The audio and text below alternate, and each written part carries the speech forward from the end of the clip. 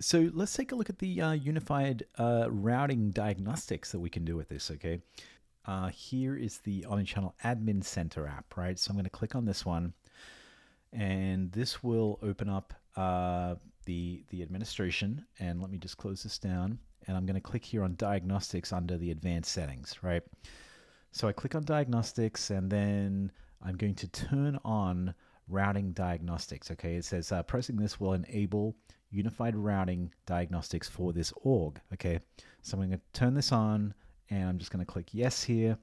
And this is going to be useful for, uh, you know, seeing how the routing works, right? So there's there's nothing in here at the moment. Now let's go ahead and uh, do the same thing we did before, and then we should be able to see some of these records coming through.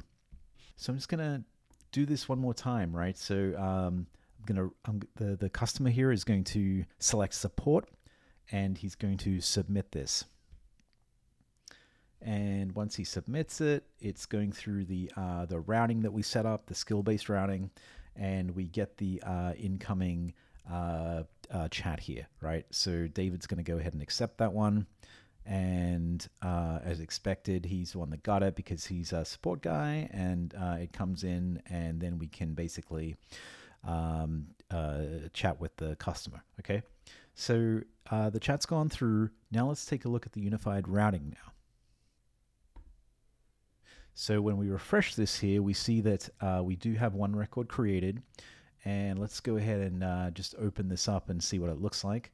So we have the uh, routing diagnostics and we have here the uh, assignment was completed and it says uh, unit-based available capacity ascending uh, round robin.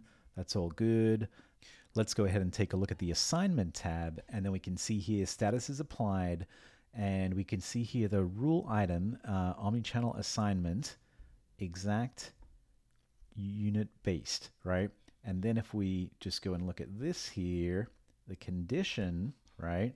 Let me zoom over this. It says uh, base presence status in conversation workstream allowed presences and the unit based available capacity is greater than or equal to the workstream capacity and the uh, user skills exact match. So really that last line there says that uh, this user had the exact match skills and that's why it was routed to him.